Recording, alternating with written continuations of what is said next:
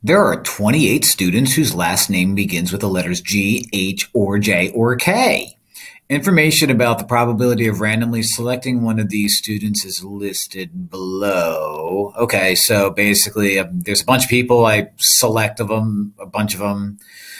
Uh, 28 of them have like Gonzalez or Hernandez or Jones or Katz with a K.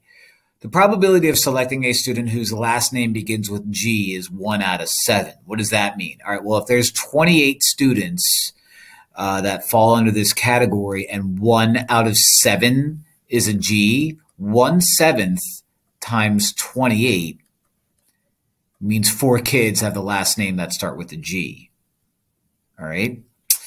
Uh, probability of selecting a student whose last name begins with a G or an H uh, if okay is five over 14. So if it's five over 14 and there's 28 students, that means 10 of them have a G or an H. How did I do that in my head without having to think fractions? Well, 14 is half of 28. So if you were to double 14, you'd have to double 5 too. So 10 have the last name of G or H. The question here is how many of these students have a last name that begins with H?